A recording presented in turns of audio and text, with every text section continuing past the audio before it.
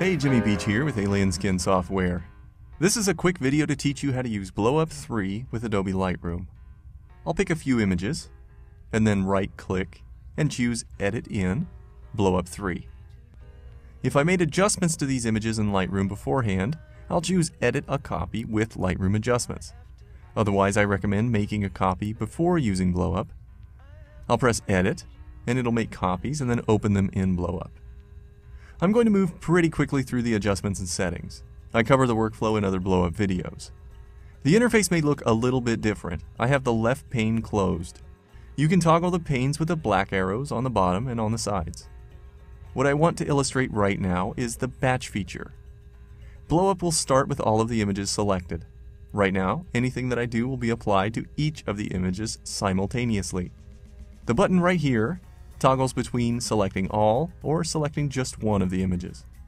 These arrows here and here navigate through, or you can click on each image to edit it. The workflow is pretty basic. Just choose which images you'd like to resize. For me, it's all of them. I'll use the crop and resize mode, and I'll go with 5 by 7 and that's a photographic setting. BlowUp intelligently crops each image to the size I've just chosen. You can see that most of the images have been cropped correctly.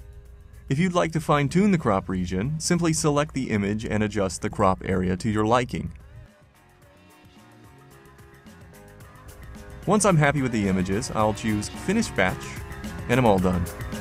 And that was it for using BlowUp 3 with Lightroom. This is Jimmy Beech. I'll see you next time.